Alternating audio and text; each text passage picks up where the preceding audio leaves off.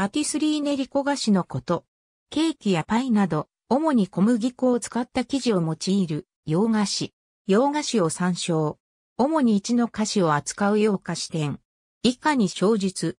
フランスのパティスリーケベックモントリオールのベーカリーのパティスリーパティスリーは、フランスやベルギーにあるケーキや洋菓子を専門に扱うベーカリーの一種である。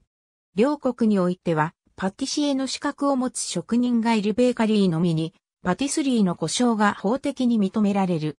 英語のペーストリーとは、同語源。フランスとベルギーでは、長い見習い期間が終了して、筆記試験に合格した洋菓子職人のみがパティシエとなる。フランスの村や町でもパティスリーは珍しくなく、しばしばブランジュリーと提携している。フランスやケベックではパティシエが作る洋菓子自体についてもパティスリーと呼ぶ。また、大量生産品の洋菓子もパティスリーと呼ばれることがある。オーストラリアでは洋菓子店やパン屋を指す場合にパティスリー、ベーカリーとペーストリーショップという呼称が特に区別なく用いられる。ありがとうございます。